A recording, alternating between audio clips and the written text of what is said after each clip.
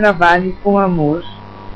O trabalho é a mais alta dignidade que a sociedade nos confere e exige. Construa-te e agradável seu ambiente de trabalho, cumprindo seus deveres com zelo profissional e atenção à sua segurança. Mantenha suas ferramentas, máquinas e objetos de trabalho em perfeita conservação para que correspondam à sua direção e produzam obras dignas da sua aplicação e do seu salário.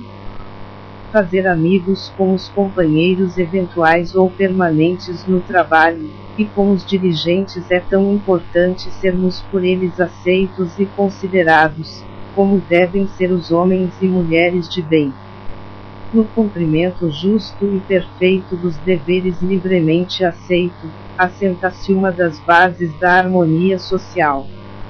Não cumpri-los é desrespeitar a si mesmo e as leis que regem o progresso neste campo vital das relações humanas. Zele pelo seu emprego, ele é mais importante que o salário que ele lhe permite produzir.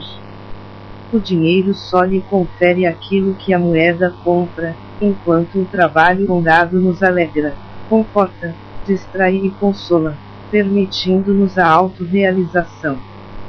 O trabalho dignifica o homem e enobrece a alma.